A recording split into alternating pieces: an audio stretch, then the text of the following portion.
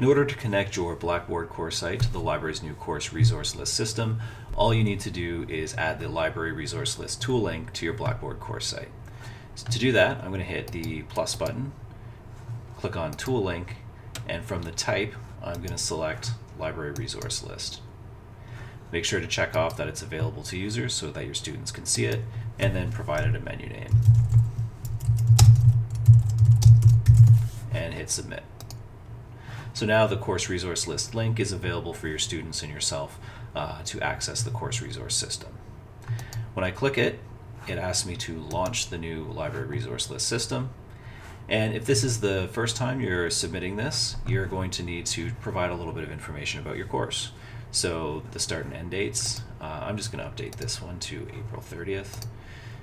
The number of participants, and this could be just the enrollment cap potentially, and which academic department that you're in.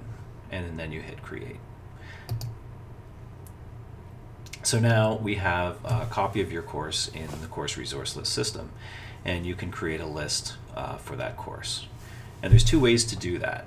Uh, the first option uh, here is to upload a document that contains an existing reading list. So if you have a Word document with a number of citations of, to books and articles or websites that you'd like us to create for you, uh, you could upload that file and we'll create that list for you in the course resource list system.